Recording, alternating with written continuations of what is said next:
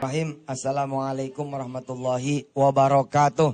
Waalaikumsalam warahmatullahi wabarakatuh. Alhamdulillah Ustadz kemarin semalam ya itu di acara chatting YM. Alhamdulillah. Nah, itu ada seorang anak remaja yang dikasih Allah kasih sayangnya lumpuh tapi kemudian bisa menghafal Al-Quran Masya Allah. di tengah kelumpuhan itu. Terus saya menghadiahkan atas izin Allah motor. Motor apa nih? Hon Motor CBR Ustaz. motor CBE. Iya, jadi Bukan bebek ya? itu motor kesayangan saya Ustaz. Alhamdulillah. Motor kesayangan saya. Jadi saya kasih ke beliau untuk ditukar dengan biaya umroh tiga orang. Oh, Masya Biaya Allah. umroh tiga orang. Jadi buat beliau yang lumpuhnya, buat Hasan yang ngedorongnya, dan kemudian buat bibinya. Ya. Alhamdulillah pemirsa ada yang merespon lewat eh, BB, lewat Twitter. Langsung terbayar. Langsung Ustaz. Sudah laku Ustaz. Subhanallah. Terima kasih buat pemirsa. Allah bayar kontan ya? Bayar kontan. Jadi itu udah laku. Insya Allah segera akan diberangkatkan. Insya Allah mudah-mudahan bisa lewat travel Ustadz ya. Sama-sama. Insya Allah. Baik pemirsa. Insya Allah masih akan ada yang dilelang lagi. Saya lagi mikir ngelelang apa lagi ya. Karena udah mau lebaran Ustadz. Ya udah mau lebaran kita pengen bersih. Jadi orang kalau mau lebaran nyari nyari apa yang bisa dibeli. Kalau saya sama Ustadz Safi kebaliknya nih. Nyari apa ini yang bisa kemudian kita lewatin buat sedekah gitu. Insya Allah ini bukan ria, bukan sum'ah. Ini buat uswatun hasanah ya Ustadz ya. Insya Allah. Supaya kemudian orang-orang menyadari bahwa tiada yang dia bawa kecuali amal soleh. Umur makin lama makin tua. Saya udah 60 tahun ini. Ya, kurang berapa ya? Kurang 25. 25, 24, 25. Alhamdulillah. Tepat. Taksiran saya tepat. Ustadz saya baca Quran dulu ya. Silakan. Pemirsa yang ada di rumah silakan dibuka surah Al-Hadid. Surah Al-Hadid ayat 16. Ibu-ibu, bapak-bapak yang ada di sini dan anak-anak ya. Insya Allah silakan dibuka surah Al-Hadid ayat 16. Nanti penjelasannya sama Ustaz. Saya enteng kalau mau Ustaz, pokoknya jelasinnya Ustaz. A'udzu billahi minasy syaithanir rajim. ألم يأن للذين آمنوا أن تخشع قلوبهم لذكر الله أن تخشع قلوبهم لذكر الله وما نزل من الحق ولا يكونوا كالذين أوتوا الكتاب من قبل فطال عليهم الأمد فطال عليهم الأمد فقست قلوبهم وكثير منهم فاسقون Saya baca terjemahnya Ustaz. Siap Ustaz. Sadaqallahul azim. Bismillahirrahmanirrahim. Belum tibakah waktunya bagi orang-orang yang beriman untuk secara khusyuk mengingat Allah dan memenuhi kebenaran yang telah diwahyukan kepada mereka. Dan janganlah mereka berlaku seperti orang-orang yang telah menerima kitab sebelum itu. Kemudian mereka melalui masa yang panjang sehingga hati mereka menjadi keras dan banyak di antara mereka menjadi orang-orang fasik. Jadi subhanallah Ustadz, ini adalah ibroh atau pelajaran dari Allah Subhanahu wa taala kepada kita semua untuk menjaga hati kita, menjaga keimanan kita sehingga kita tetap bersih, tidak seperti ahlul kitab yang sebelum kita dan ketika hati kita kotor itu ternyata ada strateginya dengan taubat. Jangan taubat. Jadi hati itu ka kama qala al ulama al qalb misul al mir'ah. Al-qalb mithlu al-mir'ah. Al mir'ah. Hati seperti kaca. Hati seperti kaca. Subhanallah. Faladaiha kuwatul inikas. Hmm. Inikas nurun minallah minal Quran was sunnah nabawiyah li jami a'dha'il jasad. Hmm. Walakin bikasrati dhunub wa qillati at-taubah fama baqiya laha min quwwah. Idza ja'atin nur fa laysa ladaiha al-quwwah al-inkisasiyah. Jelaskan, Bu? Ah, Oke. Yang sebelah juga nggak jelas kan? Jadi hati itu bagaikan cermin. Hati itu bagaikan kaca yang memiliki daya pantul.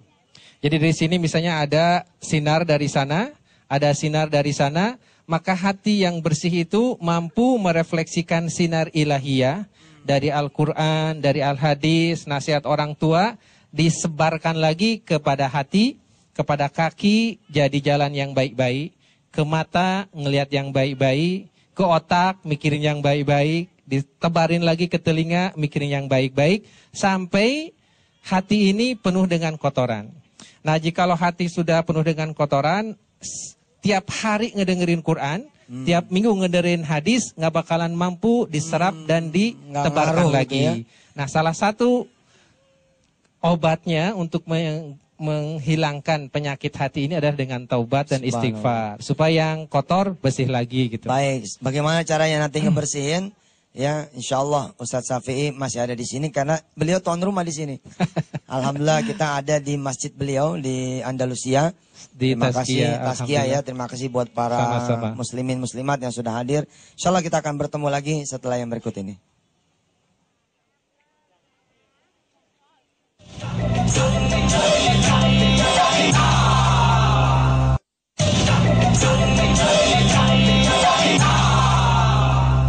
Alhamdulillah masih bersama Yusuf Mansur dan Ustadz Syafi Antonio.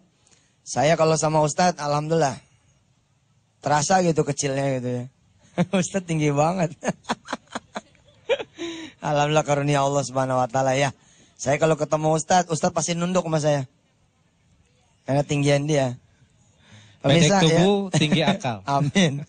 Pemirsa yang dirahmati Allah, untuk bisa bersih hati dan dapat pertobatan Allah, ampunan Allah sebenarnya gampang banget. Allah ini pemurah dan dia siapin, Allah siapin jalan-jalannya buat kita jadi bersih. Yang demen solawat ya, yang demen solawat, satu kali aja bersolawat.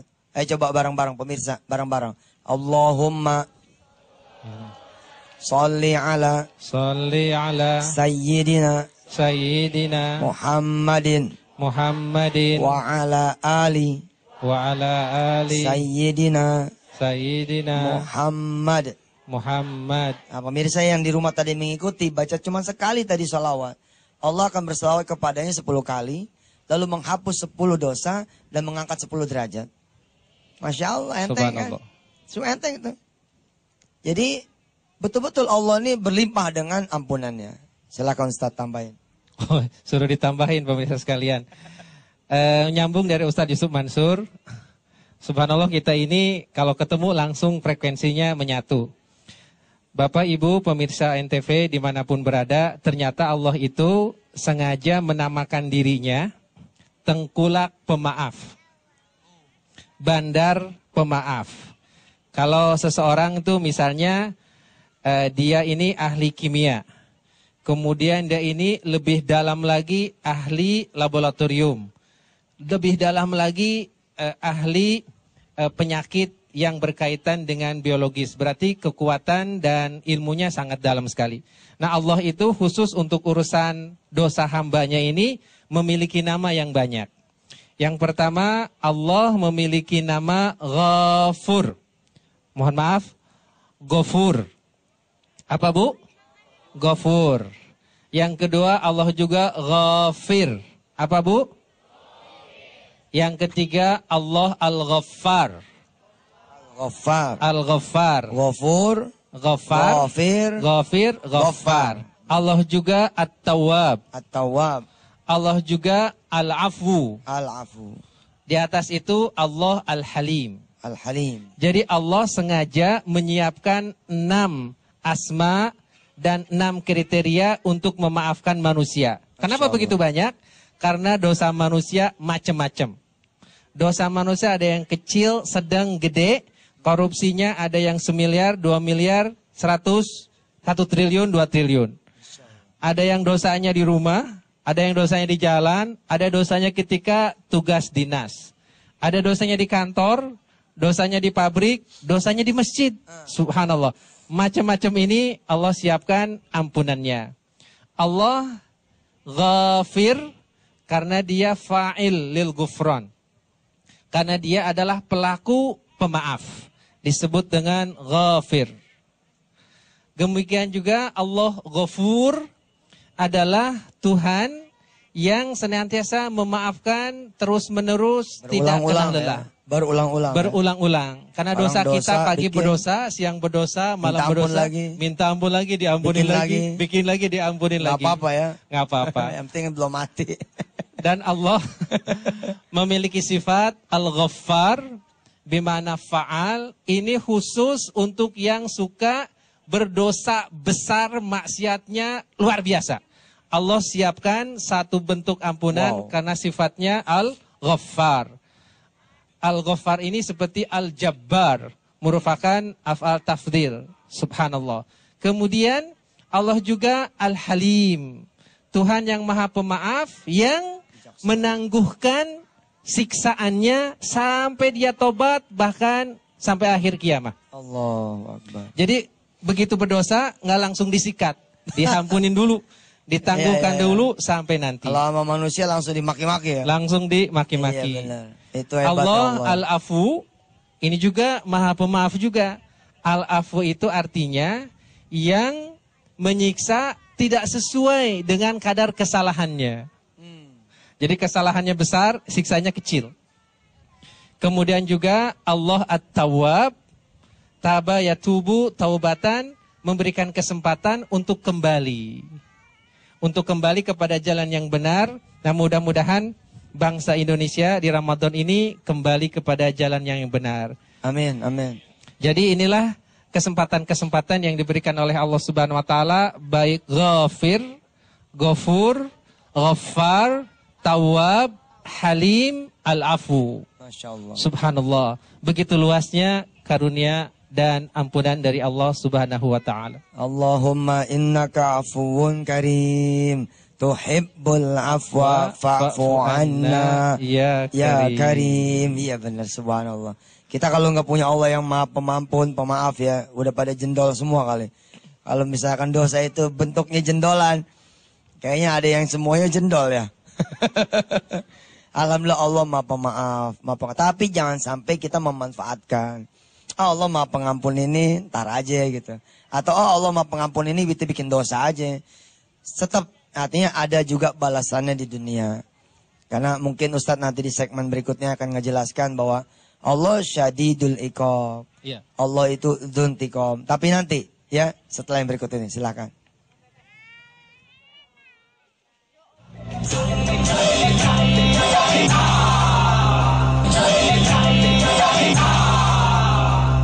Pemirsa yang dirahmati Allah ada permintaan doa dari jamaah. Di antaranya keluarga besar dari Antv ada Muhammad Nur Hidayat yang saat ini koma minta didoakan. Ada juga Ibu Siti Hanifa. Ada juga dari keluarga besar Warung di Jogja. Minta didoakan anak-anaknya mudah-mudahan menjadi penghafal Quran. Amin. Dan insya Allah semua yang mendoakan akan kembali lagi doanya kepada yang mendoakan. Al-Fatihah. A'udzubillahi minasyaitonirrajim. Bismillahirrahmanirrahim. Alhamdulillahi rabbil alamin. Ar-Rahmanirrahim. Maliki yaumiddin. Iyyaka na'budu wa iyyaka nasta'in. Ihdinas siratal mustaqim. Siratal ladzina an'amta 'alaihim ghairil maghdubi 'alaihim waladdallin. Amin. Paman saya sendiri Ustaz, Ya. paman saya sendiri hari ini meninggal dunia Innalillahi wa inna keluarga kandung saya namanya Cing Rais ya. Insya Allah mudah-mudahan kita Amin. bacakan Fatihah untuk beliau mudah-mudahan Allah ampuni dosanya. Amin. Allah terima pertobatannya. Beliau yang juga sering membantu dakwah saya. Sering membina sejak kecil kali. Iya dari kecil, dari kecil Alhamdulillah. Mari kita bacakan Fatihah sekaligus buat semua arwah kaum muslimin muslimat, mukminin mukminat di seluruh dunia dan yang masih pada hidup biar pada tobat, biar pada cepat minta ampun sebelum meninggal dunia. Al-Fatihah. A'udzubillahi minasyaitonirrajim. Bismillahirrahmanirrahim. Alhamdulillahi rabbil alamin. Ar-Rahmanirrahim. Maliki yaumiddin. Iyyaka na'budu wa iyyaka nasta'in. Ihdinas siratal mustaqim. Siratal ladzina an'amta 'alaihim ghairil maghdubi 'alaihim waladdallin. Amin. Silakan Ustaz. Eh, saya ingin melanjutkan sedikit bahwa ternyata Bapak Ibu yang dirahmati Allah Subhanahu wa taala ketika Allah mempersilahkan kita untuk kembali kepadanya bertaubat itu ternyata dengannya pintu rezeki pun menjadi terbuka. Jadi semakin kita bersih otomatis seperti kita punya tuan, Seperti kita punya majikan, semakin kita kurang dosanya, kurang kesalahan kepada dia, dia memberikan kesempatan, memberikan kesempatan yang baru. Nah, Ustaz yang coba tertutup rezekinya, yang tertutup rezekinya banyak dosa, Ustaz ya? salah, satu di satunya. antaranya itu. Makanya dalam surat Nuh, Hmm. Allah Subhanahu wa taala berfirman, "Fakultus taghfiru rabbakum innahu kana ghaffara." Silahkan lanjutkan Ustaz. Suara Ustaz lebih bagus. Ditodong nih kita. Fakul tastaghfiru rabbakum innahu kana ghaffara. Yursilis sama'a alaikum midrara. Wa yumdidukum bi amwalin wa banin. Wa banina wa yaj'al lakum jannat. Jannatin wa yaj'al lakum anhara. ما لكم لا ترجون لله وقارا Aku katakan kepada mereka, istaghfiru rabbakum, bertobatlah dan mohon ampunlah kepada Tuhanmu, ghaffaro. Tuhan yang ampunannya sangat luas dan mampu mengampuni dosa-dosa yang besar. Yursilis sama alaikum midroro. Niscaya dia akan menurunkan dari langit hujan yang deras. Dan dengan hujan itu akan ditumbuhkan semua tanam-tanaman. Kemudian dia juga akan menjadikan sungai-sungai yang terbentang dan dengan sungai itu kita memiliki ikan. Di samping kiri kanannya ada minyak bumi, ada gas alam, ada bauksit. Subhanallah dan dengannya kita juga akan mendapatkan bumi yang lebih damai dan lebih sejuk. Kenapa kita harus istighfar banyak-banyak? Ternyata semakin sedikit dosa kita, tuannya Tuhan kita yaitu Allah Subhanahu wa taala akan semakin senang. Nah, eh, kalau kita aplikasikan kita kan ibu-ibu radanya agak kurang enak kalau satu hari nggak Facebookan, Twitteran.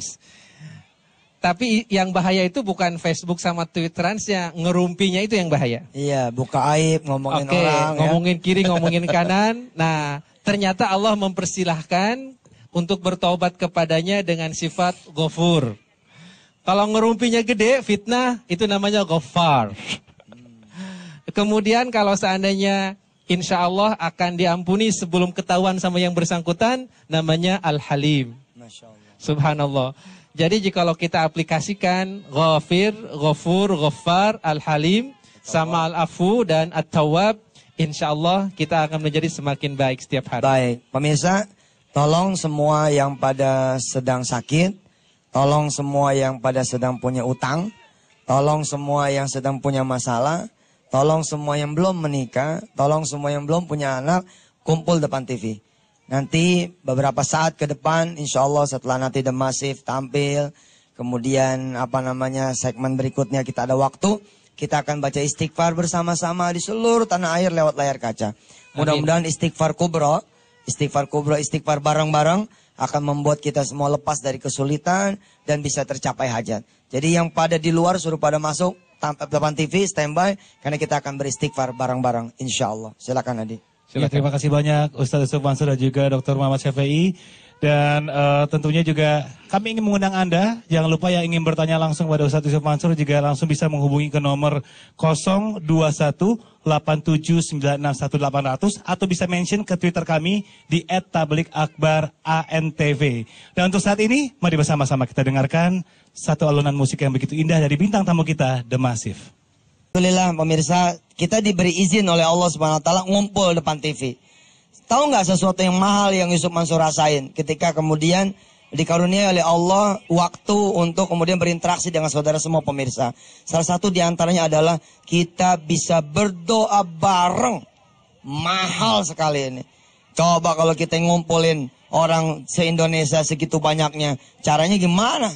Dan di mana ada tempat yang bisa nampung seluruh tanah air? Kan tidak bisa. Puluhan juta itu. Wah bisa puluhan juta betul. Dan alhamdulillah dengan media televisi ya Ustadz, Alhamdulillah. kita bisa kemudian eh, sebentar lagi kita akan istighfar kubro, kita akan istighfar sama-sama barangkali ada yang punya penyakit karena dosanya, ada yang punya utang karena dosanya, Ada yang tidak bisa-bisa pergi haji karena dosanya. Ada yang tidak bisa kemudian punya anak keturunan karena dosanya. Ada yang dipecat, bangkrut, segala macam karena dosanya. Insya Allah kita positive thinking, kita usnuzon bahwa setelah nanti kita istighfar Allah akan buka rahmatnya insya Allah. Ya. Hari ini Ustaz, kita juga ditemani sama Ya, dai-dai muda. Ini didikan-didikan kita bersama nih. Antv, iya Ada subhanallah. Kashif, Ambia, Azhari, ada juga Syifa tuh. Oh, ada sana. ya di. Putri Subhanallah. Ini ada yang udah nikah nih. Alhamdulillah. Ambia ya. Subhanallah. Ada yang lagi S2, S2. ada juga yang mau kuliah di sini. Siapa? Itu si Azhari. tuh. Azari subhanallah. Siap Di Azari. kampus Tasbih. Beliau lagi anu ada amanah bikin kampung Quran di kampungnya. Amin, insya Allah. Bahkan bikin kota Quran. Bukan cuma Amin. kampung Quran. Iya. Baik Ustaz, silakan Ustaz. Ya, pemirsa yang dirahmati Allah Subhanahu wa taala, eh, dikisahkan Sayyidina Umar pernah mengumpulkan jamaah di kota Madinah karena sudah berbulan-bulan tidak turun hujan. Allah. Kering kerontang. Kalau di Indonesia dua bulan, tiga bulan nggak turun hujan, itu udah bahaya. Kalau di tanah Madinah waktu itu satu tahun penuh nggak turun hujan lebih dahsyat lagi. Masya Allah. Kemudian mengajak orang semua untuk datang sholat istisqo ke tanah lapang. Yang heran, eh, sahabat-sahabat lain itu menunggu Sayyidina Umar sebagai amurul mukminin untuk berdoa, Ya Allah, turunkan hujan, limpahkan rezeki, yang belum nikah nikahkan, yang belum sekolah mudahkan sekolahnya, yang lagi banyak hutang mudahkan bayar hutangnya, yang lagi paceklik diberikan jalan keluar. Itu nggak keluar dari mulut Umar bin Khattab. Yang keluarnya cuma satu, Astagfirullahaladzim. Astagfirullahaladzim. Astagfirullahaladzim. Astagfirullahaladzim. Kemudian setelah itu sahabat bertanya, Wahai Amirul Muminin, kenapa tidak ada yang keluar dari mulut engkau kecuali minta ampun dan minta taubat dan ingin kembali ke jalan yang benar? Kata Sayyidina Umar, kalau kita seluruhnya ini taubat nasional, Iya, iya. bahasanya Iya, betul, gitu. betul. Istighfar Kalau kubro. kita seluruhnya ini taubat kubro, taubat nasional, Allah udah lebih tahu apa yang kita butuhkan. Subhanallah. Allah lebih tahu yang kita butuhkan masing-masing di kota, di kampung, tua, muda, kakek, nenek, AATT. Kata Allah, ah, kata Sayyidina Umar, Allah lebih tahu apa yang kita butuhkan. Ya sudah kita istighfar saja dan tanpa ngucap Allah sudah tahu apa yang bergerak dalam hati dan dada kita. Subhanallah. Subhanallah. Ya makanya pemirsa yang pada ada di luar, yang pada lagi nonton TV yang lain, suruh siap-siap standby di Antv. Karena kita akan betul-betul beristighfar kubro. Insya Allah kita akan sama-sama beristighfar bareng senusantara bahkan dari mancanegara yang melihat lewat streaming Adi. Insya Allah kita suruh standby. Siapa tahu insya Allah dengan diangkat barang-barang beristighfar bareng-bareng. Insya Allah Allah akan ganti langit kita dengan langit yang biru. Amin ya Allah Rabbal Alamin. Amin. Ya ini Tat, sementara nih Tat ada pertanyaan juga nih Tat.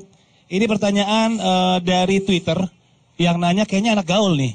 Twitter ya? Heeh, Ya. Namanya Esa Gewol. Wah. Esa Gewol. Nah, pertanyaan Esa gini nih. Tat, gimana caranya supaya kita yakin kalau taubat kita udah diterima sama Allah Subhanahu wa taala? Panjang ini jawabannya. Gimana caranya kita yakin taubat kita sudah diterima oleh Allah? Gini aja simpelnya. Satu, baik sangka Allah udah ngampunin. Simpel kan? Jadi udah yakin Allah ngampunin. Kedua, manakala dia tahu bahwa dia tidak mengulangi. Ketiga, manakala dia mendapati dirinya sedang berada dalam trek ibadah dan iman serta amal soleh. Insya Allah di seperti itu. Ada tambahan Ustaz. Ya. Kalau dia pernah menyakiti orang, minta maaf. Kalau dia pernah ngambil duit, balikin. Kalau sudah ada tanda terima kwitansi, insya Allah diterima tuh taubatnya tuh. Iya sih, tapi emang nggak semua orang berani Ustaz. Karena kadang-kadang nyangkutnya sama orang banyak ya. Ya sudahlah, pokoknya ntar Allah akan cari cara gimana cara ngampunin Amin. dia. Pokoknya dengan ada niat baik, Iya, insya Allah sudah ditangkap dibukakan itu juga jalannya. caranya dengan ditangkap tuh sebenarnya salah satu cara pengampunan dari Allah Subhanahu wa taala. Coba lihat kalau belum puasa, banyak yang ditangkap kan? Begitu belum puasa banyak yang tangkap. Ustadz nggak belum puasa gue banyak. Iya sih emang di Indonesia nih masya Allah lah. Makanya dengan kita beristighfar dan beristighfar untuk Indonesia, mudah-mudahan hiasan koran tuh hanya adanya yang baik-baik. Penghafal Quran, anak Indonesia yang juara Olimpiade, juara kemudian kemarin olahraga kita dapat medali perak, perak, apa segala macam. Mudah-mudahan hanya berita itu yang ada, ya. Terima kasih juga nih buat yang hadir dari Al Mutakin ya. Ada ibu-ibu dari Al Mutakin mana coba Al Mutakin? Wah merah-merah masya Allah. Ada dari pesat ya, pesat. Oh, Dari Andalus dari Andalusia, Andalusia, mana? Andalusia, mana Sentul Andalusia? City mana? Oh, Oh, di belakang. Dari Oh. Taskia mana Taskia? Keluarga besar Taskia? Alhamdulillah. Iya, iya, iya, iya, iya. Alhamdulillah. Adi ada lagi pertanyaan? Nah ini Tat, ada uh, sahabat ini juga nih jamaah kita yang lagi ada di sini mau nanya. Dia kayaknya orang Medan nih Tat, namanya Sila- Cecep. Oh, Silakan Medan coba. Cecep, Pak ya. Cecep, silakan Pak. Assalamualaikum warahmatullahi wabarakatuh. Waalaikumsalam. Perkenalkan Cecep Tarmidi dari Cikarang, Ustaz. Mau nanya nih, Hmm. eh, saya kan sering melakukan dosa, cuma udah tobat, kayaknya enak gitu dosa tuh. Ya istilahnya tobat sambel lah gitu, Ustaz. Gimana solusinya tuh? Makasih, Ustaz. Assalamualaikum warahmatullahi wabarakatuh. Ya, baik. Makanya sebentar lagi pemirsa, nanti setelah break iklan ya, nanti segmen berikutnya mungkin segmen 5 kali ya.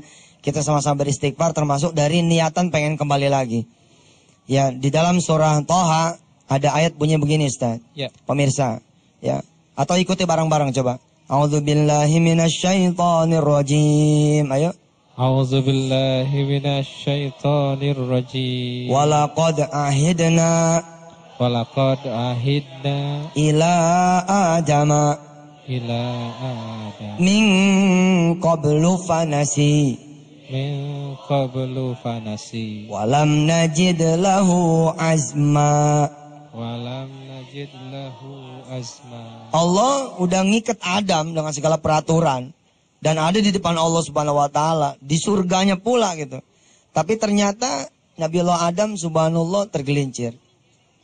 Digoda sama setan dan tergoda. Kenapa? Kuncinya satu tuh, walam najid lahu azma. Karena Nabi Allah Adam tidak didapati oleh Allah punya keinginan yang kuat untuk tidak mendekati dosa. Tidak ada keinginan kuat untuk menghindari dosa. Akhirnya kemudian yang terjadi kita tergelincir. Makanya harus tegas sama dosa. Kalau ada kemudian yang nyogok marahin dia. Kenapa segini?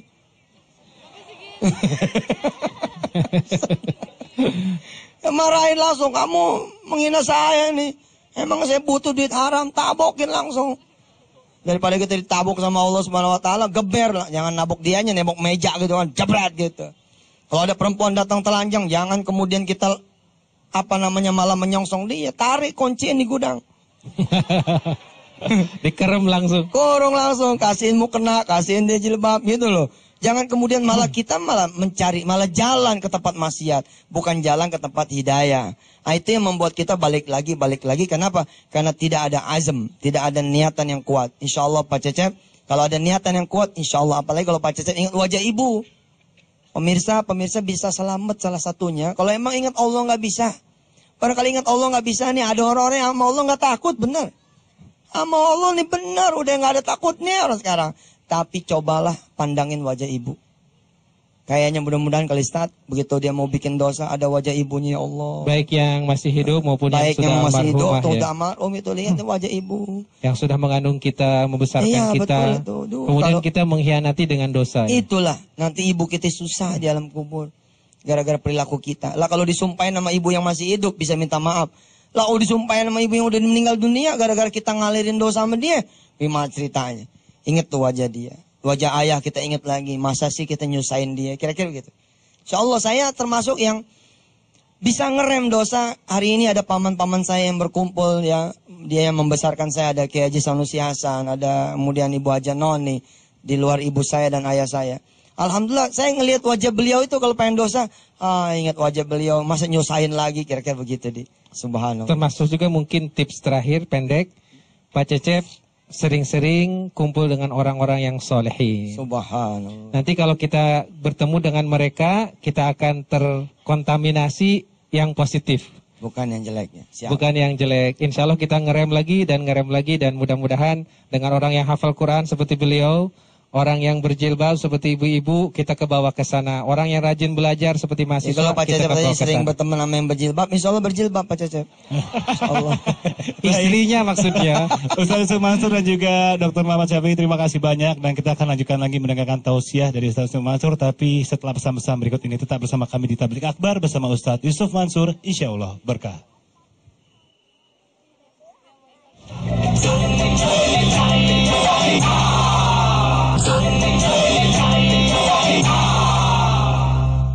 Subhanallah. Walhamdulillah kita masih bersama Tablik Akbar.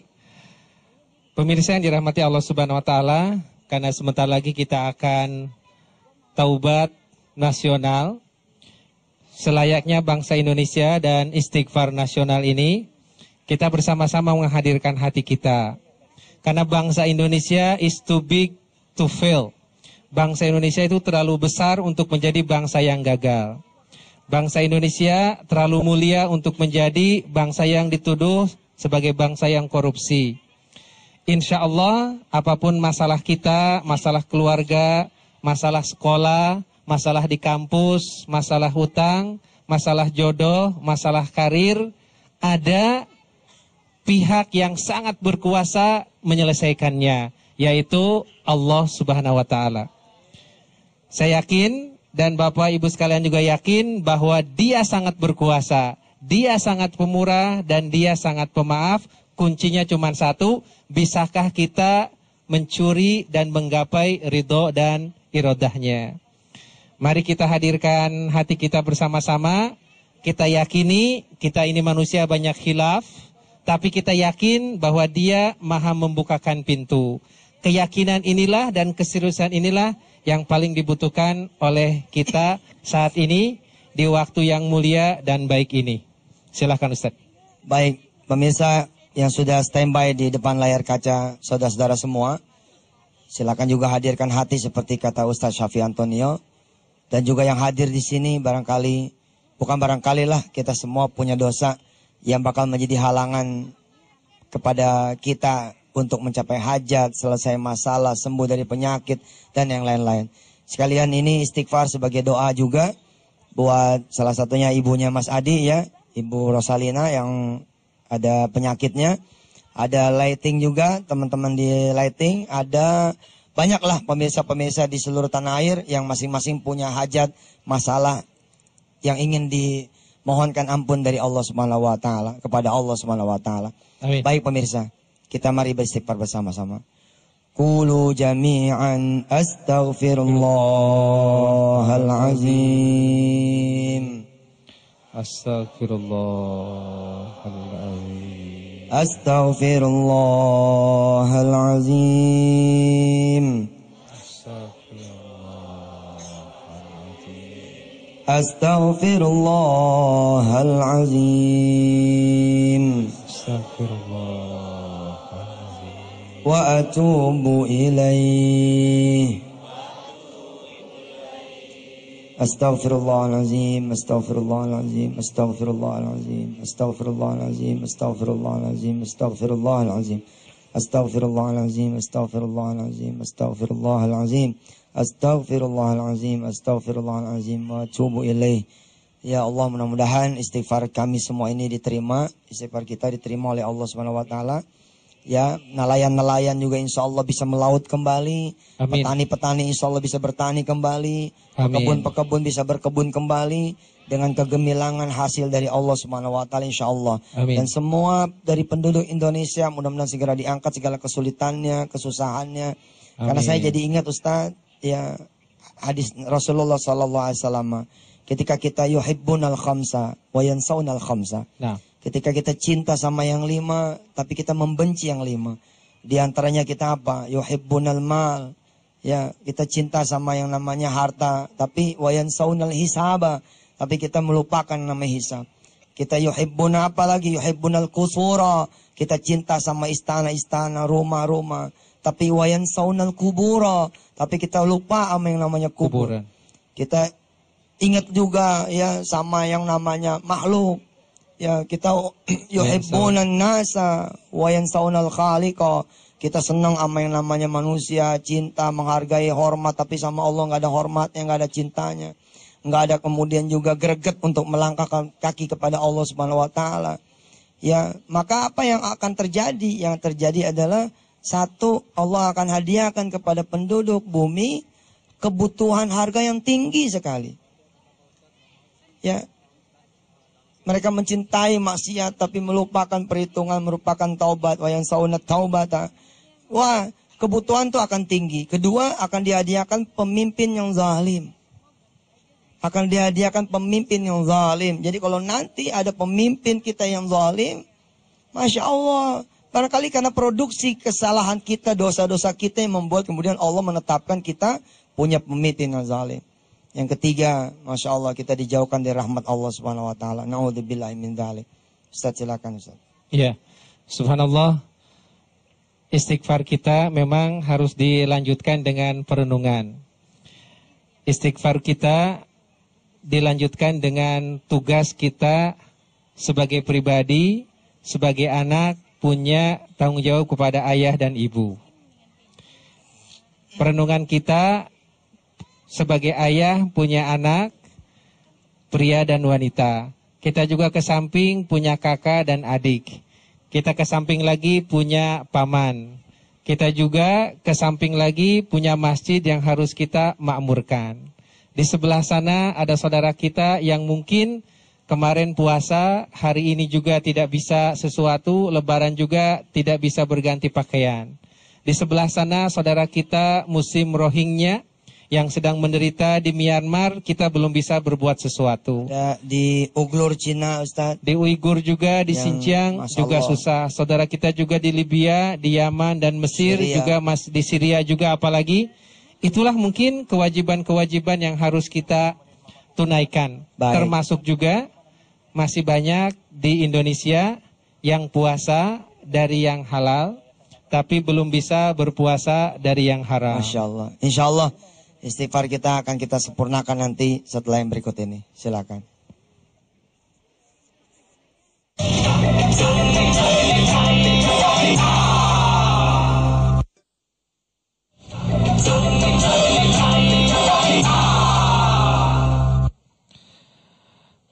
Bagaimana pemirsa sekalian masih semangat untuk menggapai ampunan dari Allah SWT?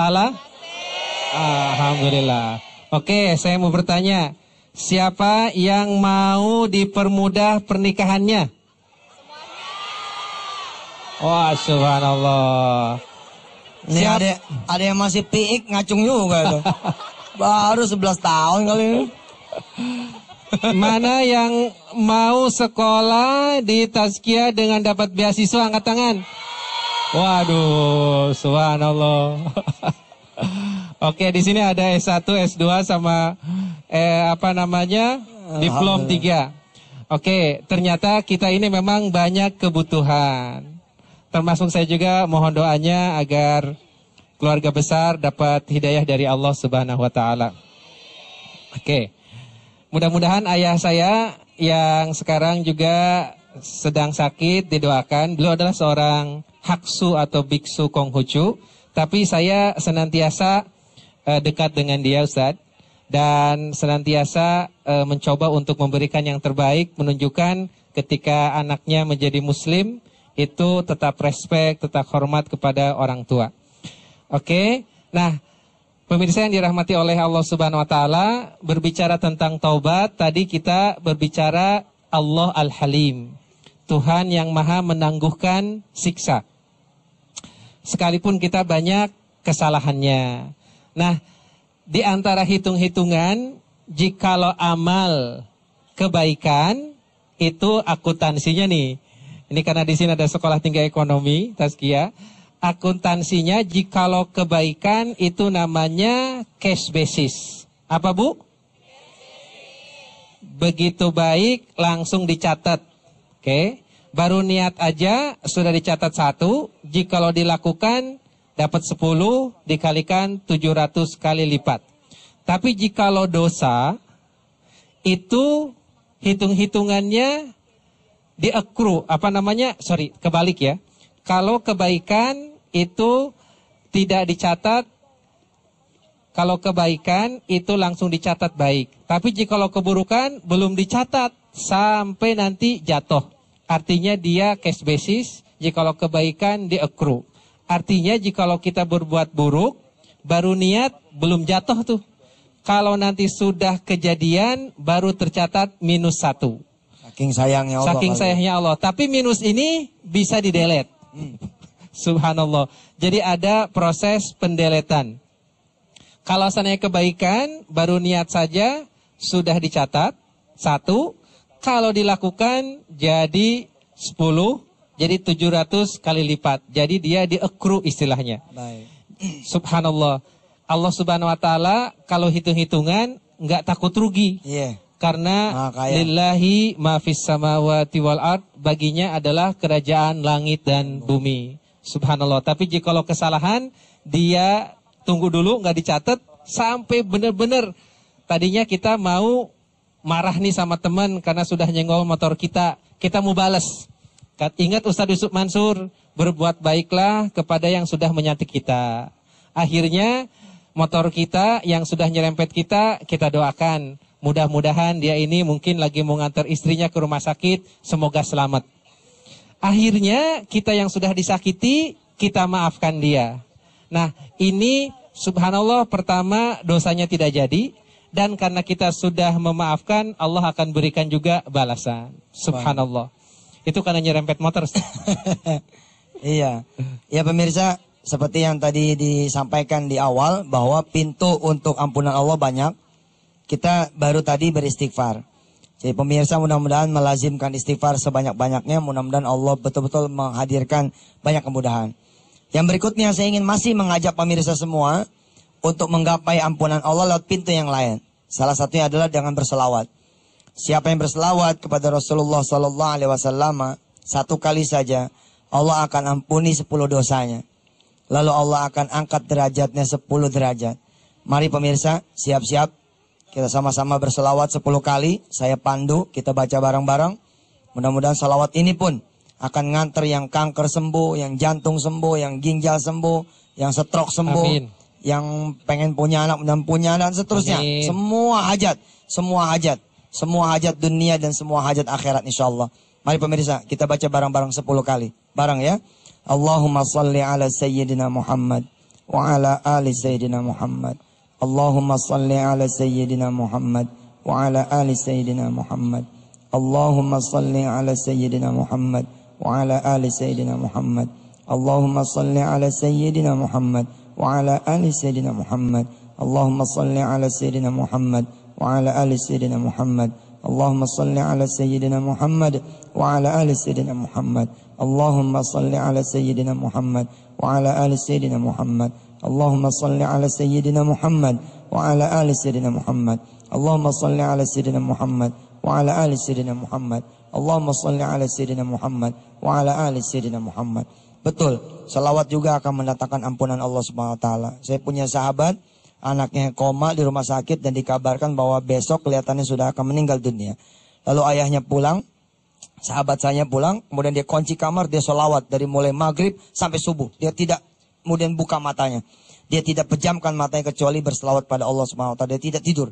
Apa yang terjadi kemudian hari besok paginya jam 8 istrinya pulang mengabarkan bahwa anak kita sudah ada tanda-tanda kehidupan dari Allah Subhanahu wa taala. Subhanallah. Apalagi kalau kau cuman nganggur, pengen kerja, usaha, pengen modal, ngewarung, pengen tokonya. Insya Allah semua akan diberi Allah Subhanahu taala. Pemirsa, yang ke mana-mana, kita masih ada satu segmen spesial. Insya Allah saudara ya akan mendengar nanti lagu penutup dari Masif. Silakan.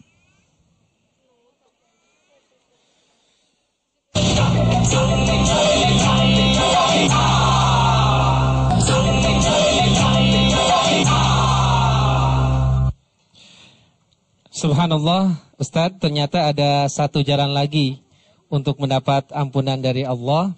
Di samping tadi kita sudah istighfar, sudah solawat, ternyata ada satu hadis yang berbunyi, Inna sodakota tutfi'u godoballah. Allah. Sesungguhnya dengan bersodakoh itu bisa meredam kemarahan Allah Masya Subhanahu wa taala. Sedekah ya. Sedekah makanya kalau kita sedang-sedang saja kita lagi susah tetap sedekah apalagi kita lagi sedang dalam kelonggaran kita juga harus bersedekah bukan hanya kita saja nih bagi orang yang terlanjur terlanjur ngambil duit dari negara sedekahin aja Ulangin kali. pulangin. Iya. Pertama balikin ke negara, kalau takut sedekahin semuanya. Nah, sekarang ada permasalahan, biasanya kalau korupsinya itu 2 miliar, nyumbang mestinya cuma 50 juta. Sekarang gaya baru, Kalau berani balikin tuh 2 miliar ke negara, kalau nggak berani balikin 2 miliar 2 miliarnya dan bertobat kepada Allah Subhanahu wa taala, jangan ngulang lagi. Insya Allah setelah Ramadan Indonesia lebih damai. Insya Allah setelah Ramadan hujan akan turun. Insya Allah tidak akan ada tsunami. Dan mudah-mudahan harga-harga tidak naik lagi. Dan mudah-mudahan sumur minyak itu muncul minyak-minyaknya dari bawah bumi yang tadinya kita hanya bisa 950 ribu barrel per hari menjadi 2 juta barrel per hari. Jadi nanti harga BBM bisa turun dengan istighfar dan dengan sodakoh kita. Silakan Ustaz. Amin, amin. Iya, iya. Ya saya ingin mengucapkan terima kasih buat pemirsa selama ini. Ya semalam juga pas acara chatting YM tuh, saya betul-betul sungguh berdoa betul kepada pemirsa semua ya. Pada Allah buat pemirsa mudah-mudahan punya anak-anak penghafal Quran. Amin. Karena kalau kita punya dosa kayaknya kurang ketebus gitu sama kita sendiri mah gitu. Mudah-mudahan kita nyimpen nih satu anak penghafal Quran. Jadi begitu dia netas jadi penghafal Quran, kan dia punya tiket surga tuh. Satu penghafal Quran ya kan? Bisa bisa sampai 10 orang bisa masuk surga dengan sabab wasilah dari izin Allah SWT syafaat lewat beliau, lewat anak kita mudah-mudahan. Ya, saya kemarin pas chatting IM itu ngelihat Isa yang lumpuh hafal Quran. Terus ada empat orang anak yang lahir di Mekah hafal Quran. Ya Allah betul. Saya berdoa tuh buat ente pada tuh. Mudah-mudahan Allah jabah. Ada salah satu putra putri ibu. Ya cucu ibu bapak pemirsa semua yang insya Allah bisa menjadi seorang penghafal Quran. Amin. Amin ya Allah Rabbal Alamin. Saya kira ini saja Ustadz ya yang bisa saya kita sampaikan. Kita besok ketemu masih di Andalusia. Insya Allah di Masih di sini ya. Ya, kita Andalusia. akan bahas nuzul Quran. Insya Ya, Allah. kalau di rumah saya udah makan ketupat saat sekarang. Subhanallah. Udah kunut. Alhamdulillah. Ya kalau kunut kan kita makan ketupat nih. Ya masih ada sih kulitnya kalau mau ntar kita kirim. Lapan tinggal ngisi beras doang. Kulit juga mahal kulit ketupat sekarang. Ya silakan Adi. Subhanallah. Ya. Baik, terima kasih banyak Bapak Muhammad Syafi'i dan juga tentunya Ustaz Yusuf Mansur. Kembali saya ingin mengingatkan lagi kepada pemirsa, besok insya Allah kita akan bertemu lagi pukul 21.00 waktu Indonesia bagian Barat di Antv dalam acara Tablik Akbar bersama Ustadz Yusuf Mansur. Dan untuk kali ini kami juga harus pamit ya Ustadz, ya, Pak Dokter. Dan kami mohon maaf jika ada kesalahan karena tentunya kesempurnaan hanya milik Allah Subhanahu wa taala. Dan untuk saat ini mari bersama-sama sebelum acara ini selesai kita dengarkan satu lagu lagi dari bintang tamu kita The Massive dengan Jangan Menyerah. Wassalamualaikum warahmatullahi wabarakatuh. Waalaikumsalam warahmatullahi wabarakatuh.